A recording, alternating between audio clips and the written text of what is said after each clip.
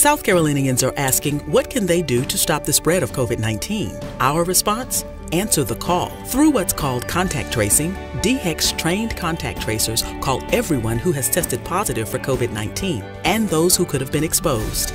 All information is confidential, voluntary, and collected over the phone. This information helps us protect you, your loved ones, and your community. Answer the call to keep your community safe. Visit scdhec.gov slash COVID-19.